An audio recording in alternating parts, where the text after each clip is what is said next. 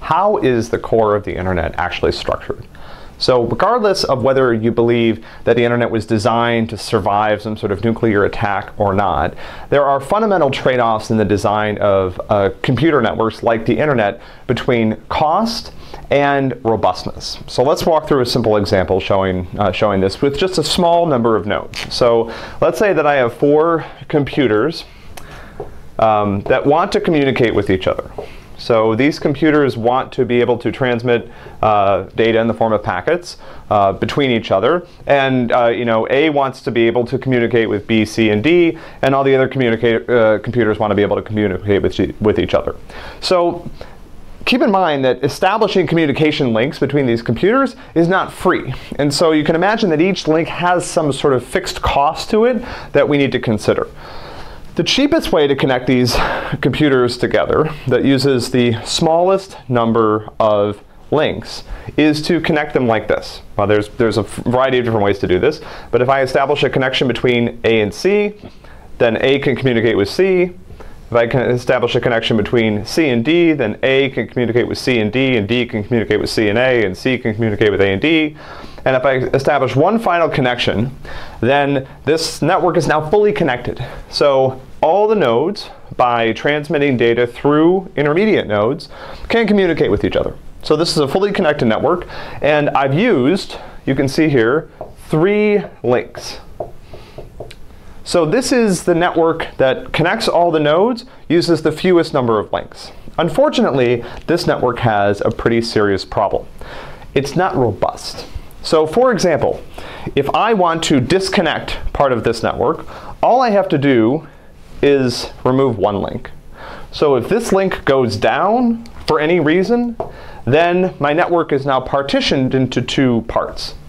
Two computers here, A and C, two computers here, B and D, that can continue to communicate with each other, but can't access uh, the other part of the network.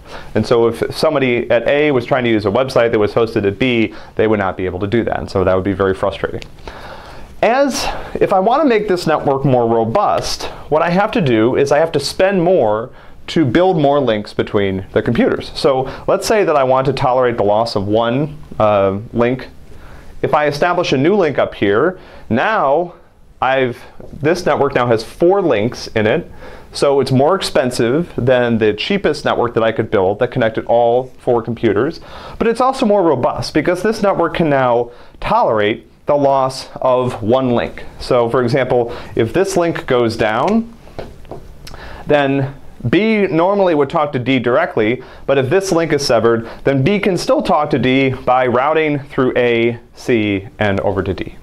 So this is the sort of fundamental trade-off here.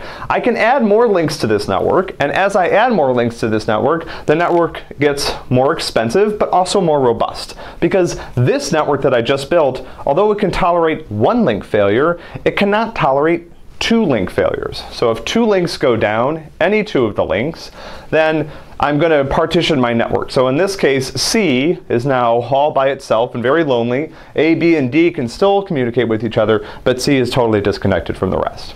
Um, and so if I want to be able to tolerate two link failures, then, as you might expect, I have to create another link. Now I can tolerate two link failures because if these, now it, it, really depends on what the links are. So once I start adding links, it depends on which links are failing. If I uh, cut off all the links to C, no matter how many other links are in the network, then C will be disconnected. But in this network, for example, if this link goes down and this link goes down, then the network is still fully connected. C can talk to A, which can talk to B this way and talk to D, um, and all the other computers can, can use this, these links and ignore the ones that are broken. So this network, now the most expensive network, now this now required five links, right?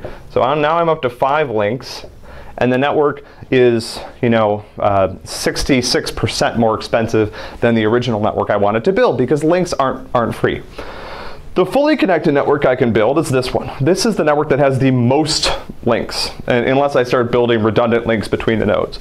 So this network has now one, two, three, four, five, six links. And it can tolerate even more failures. So for example, even if I cut off two of the links that go to C, C still has another link that it can use to communicate with A and reach the rest of the network.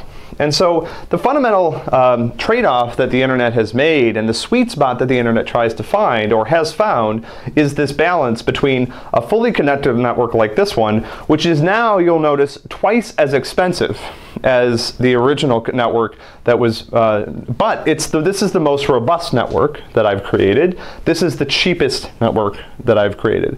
So in general, as we add links to the internet, we increase robustness, uh, we also increase capacity.